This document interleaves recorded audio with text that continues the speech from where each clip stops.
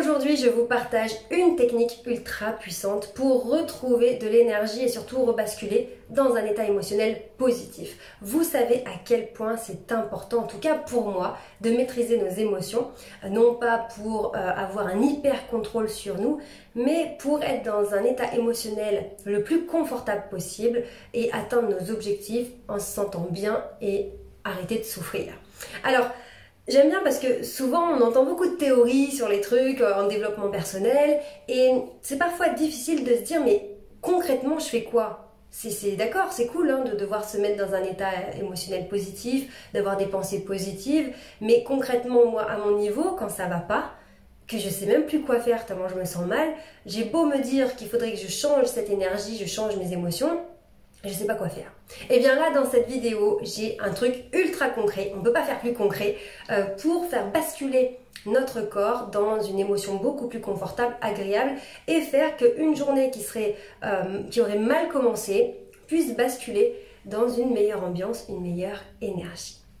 Alors, vous le savez à quel point euh, notre corps en fait est en lien avec notre système de pensée. De manière très simple, quand on est triste, on a tendance à aller vers le sol, quand on a peur, on a tendance à se renfermer, à se mettre en protection, et quand on est heureux, joyeux, fier de soi, on a tendance à s'ouvrir et aller vers le haut. Ça, ok, on comprend très bien que nos pensées, ce qu'on a dans la tête, vont euh, se manifester à travers notre corps. Ça, ok, on a tous compris. Mais il y a quelque chose d'autre qui est extrêmement puissant dont on a peu conscience. C'est que notre position du corps envoie une information à notre cerveau. C'est ce qu'on appelle une réaction rétroactive. C'est-à-dire qu'il y a le chemin inverse qui existe aussi. Quand vous êtes en train de vous mordiller euh, la bouche parce que vous êtes en train de stresser, ce mordillement de la lèvre à cause de votre stress envoie un message au cerveau qu'on est stressé.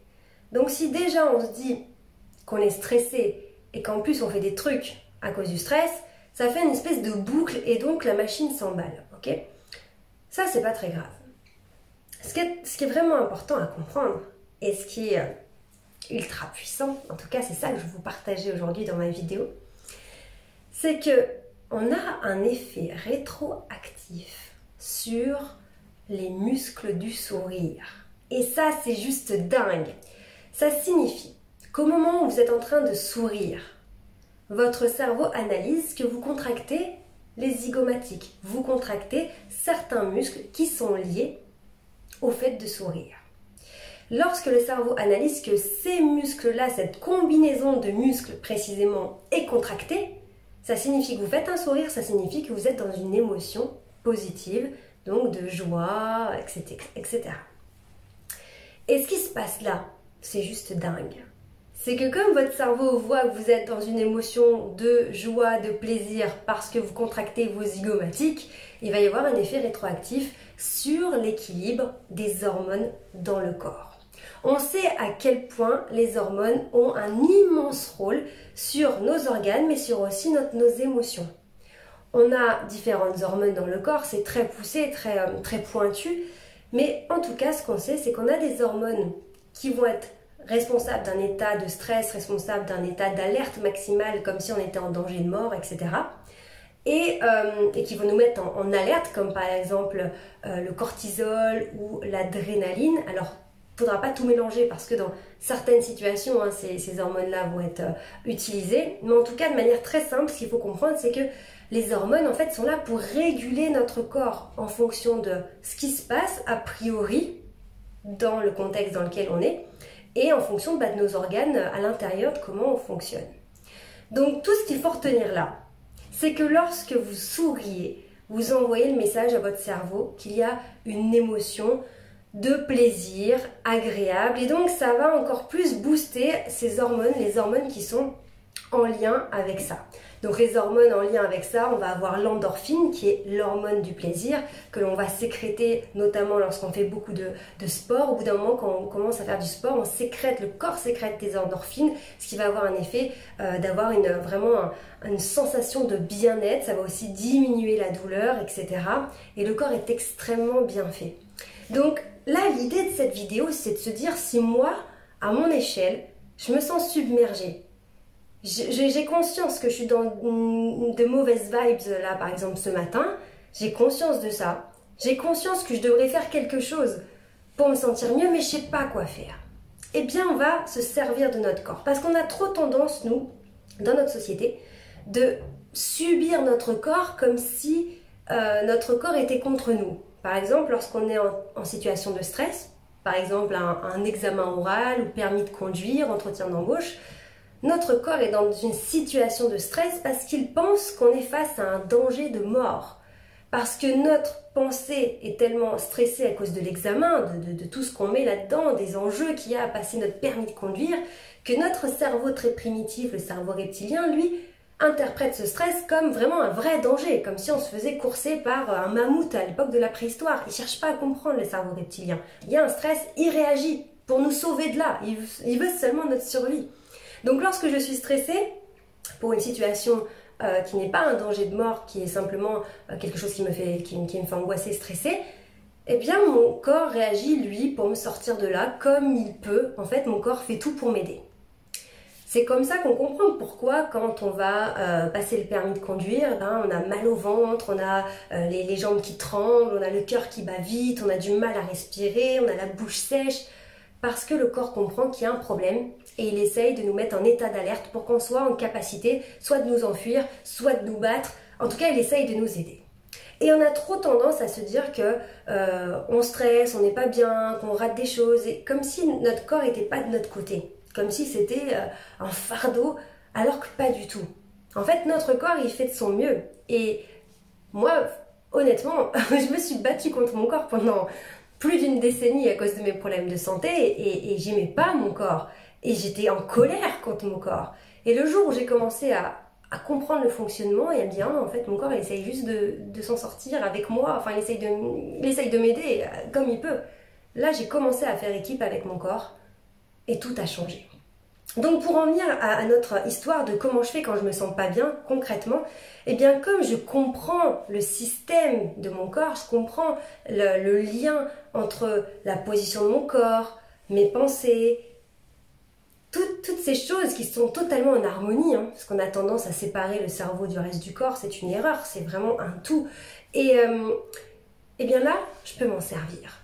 Je peux me servir du fonctionnement du corps pour eh bien, améliorer mon état et faire que ce soit de plus en plus facile et que je me sente de mieux en mieux.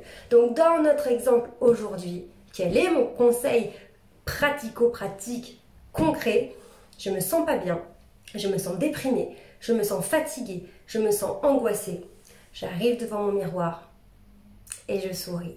Même si j'ai pas envie de sourire, même si les pensées que j'ai dans ma tête ne font que me donner envie de tirer la tronche, d'avoir une mâchoire contractée, peut-être de serrer les dents, d'avoir des lèvres pincées, c'est ça que j'ai envie de faire avec mon état émotionnel.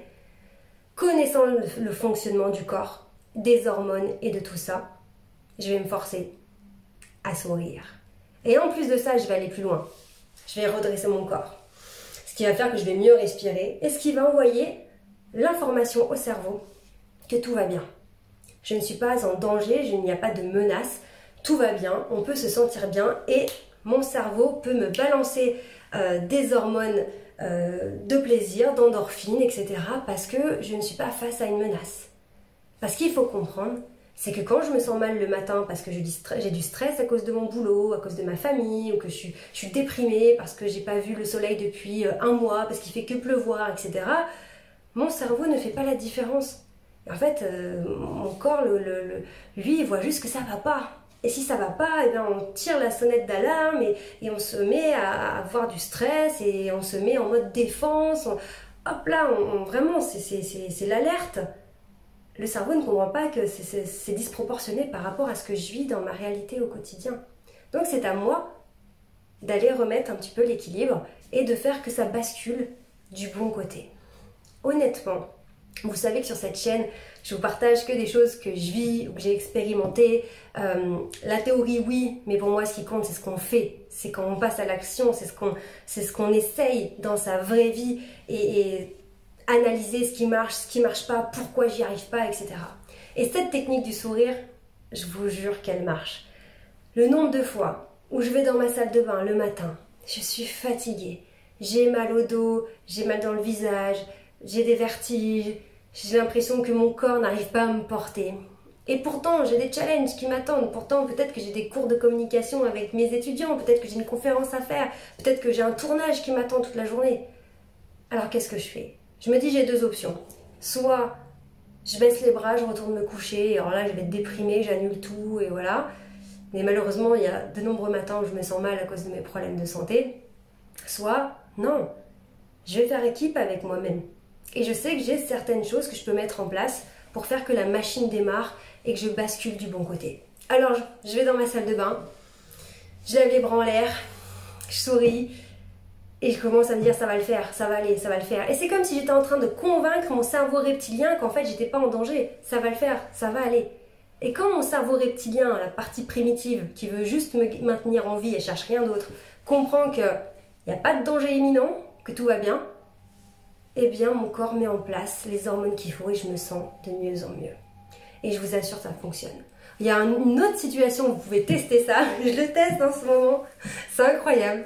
C'est quand, euh, souvent ça arrive euh, dans le cadre familial, on sait que finalement ceux qui sont euh, proches de nous, c'est malheureusement les personnes avec qui on va faire moins d'efforts quand on va avoir des petites disputes ou ce genre de choses parce qu'on sait qu'ils sont toujours là malgré tout. Donc malheureusement c'est là où on va vite, on peut vite avoir des tensions. Eh bien, quand vous avez envie de vous mettre en colère contre une personne ou vous avez envie de faire un reproche. Je parle dans d'autres vidéos de la communication non violente, hein. c'est des techniques ultra puissantes pour euh, désamorcer les conflits, c'est énorme.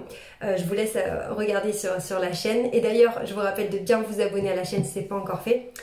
Et eh bien là, en fait, pareil, plutôt que tirer la tronche parce que la personne vous a contrarié ou elle a fait quelque chose qui vous embête, vous tirez la tronche, vous êtes vraiment pas content et euh, votre corps comprend que ça va pas, donc on se met dans une énergie euh, vraiment presque d'agression, d'agressivité, eh bien forcez-vous à sourire. Hmm. Même si c'est très, euh, très, comment dire, hypocrite ou presque sarcastique, mais je vous assure que ça va, ça va, ça va vous calmer. C'est un truc de fou. Je, le teste parfois avec mes proches et, et en fait c'est dingue parce qu'on n'a pas du tout envie de sourire, mais d'un coup, on sourit, hein.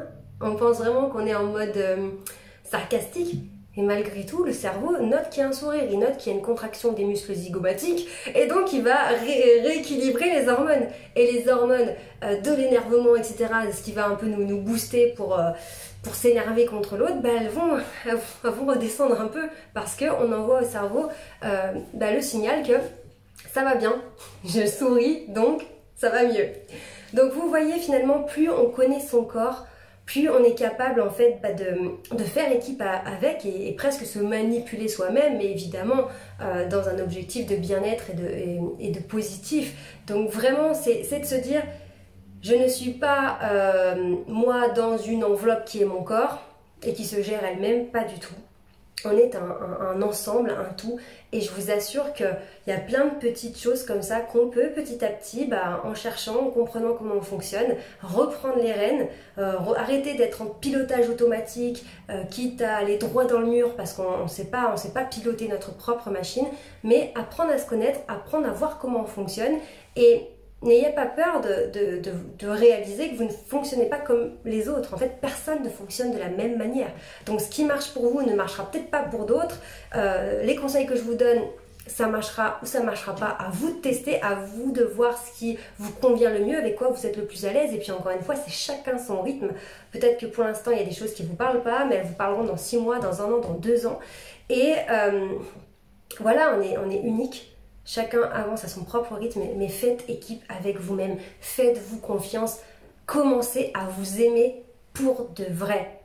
Ça paraît encore une fois gnangnan de se dire il faut s'aimer soi-même, l'amour de soi, l'amour, mais oui en fait. Clairement, clairement la clé, elle est là. Même si on n'a pas envie d'y aller, c'est ça change la vie. Donc allez-y, souriez et on se retrouve demain.